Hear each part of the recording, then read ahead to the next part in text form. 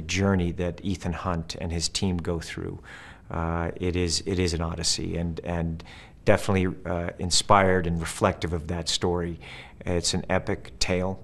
Um, it's a personal tale, and there's incredibly uh, huge stakes, uh, emotional stakes, I think, for, for the characters.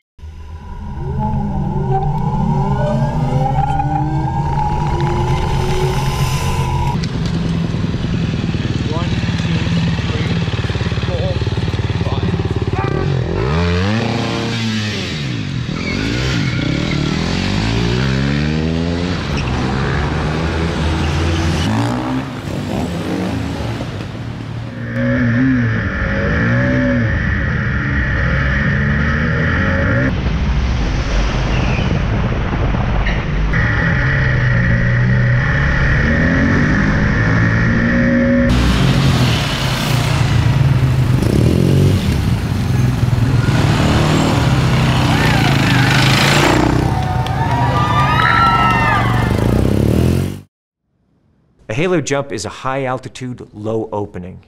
Uh, that's what it means, that it's a jump where you're jumping from a very, very high altitude and you open very low.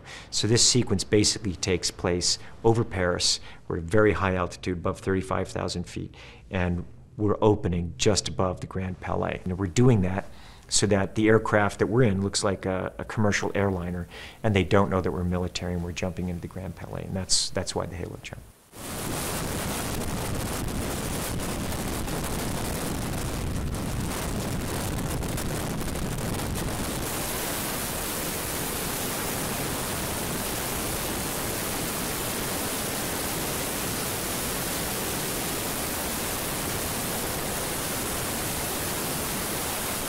That, that was really You're good. perfect. Nice job. Everything, everything was perfect. All you got to do is once you're there, just maintain it.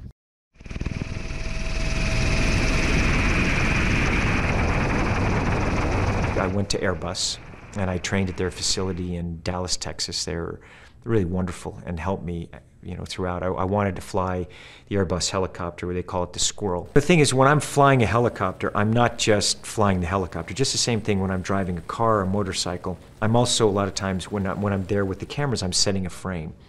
So there are times that I'm flying a helicopter and I'm setting a frame for Henry when I'm behind his other helicopter, plus there's uh, an aerial helicopter. So, plus I'm acting as I'm going and flying the helicopter and flying it low, flying it fast, flying it close, close to the mountains and the grounds.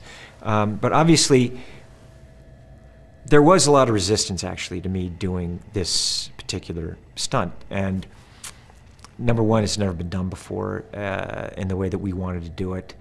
Uh, the extreme nature of the flying, and of course, everyone wants to make sure that it's going to be safe. And um, so I made sure, and one of the things that I do is I have these guys, you know, I, I try to surround myself with the best people, the best group, and have them challenge me and see how how good am I? Am I good enough to be able to do this? So a lot of stuff that I wanted to do in terms of flying low under trees, uh, I was able to get the, the aircraft into a spin and do those spins at, at very low G uh, and low airspeed and be able to pull out at very low level.